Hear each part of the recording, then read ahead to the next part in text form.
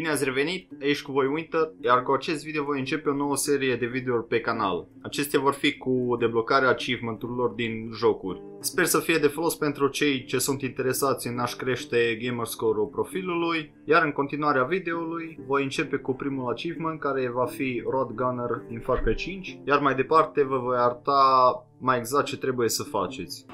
Acest achievement este foarte ușor de realizat. Singurul lucru ce trebuie să faceți este să omorâți 25 de inamici în timp ce vă aflați la volanul unui autovehicul sau când conduceți ATV-ul, iar la final după ce ați făcut acele 25 de kill-uri, o să vi se deblocheze automat acel achievement.